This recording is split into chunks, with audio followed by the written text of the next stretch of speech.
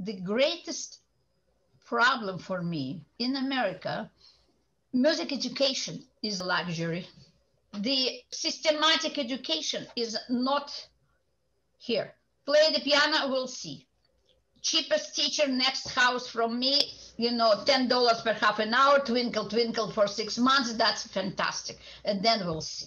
And then that teacher who maybe somehow having general music education never had a professional pianist to position the hands. That's where the tragedy comes from. First of all, it's not standardized who have privilege to teach the instruments.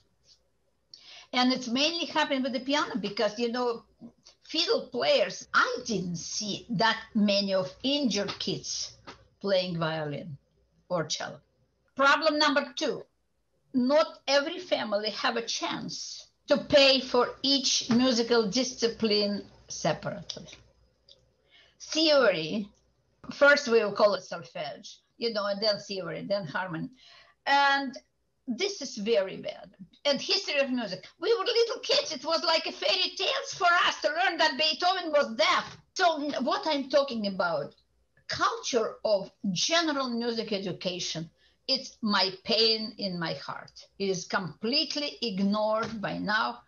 And believe me, with all my experience and seeing so much over these years and helping as much as I possibly can and beyond, kids need an arts. Doesn't matter what instrument. They need it because it's a field for their self expression. Remember what I said. Because if sometimes you do not want to talk, you can sit and bang your piano in the hour, you're relieved.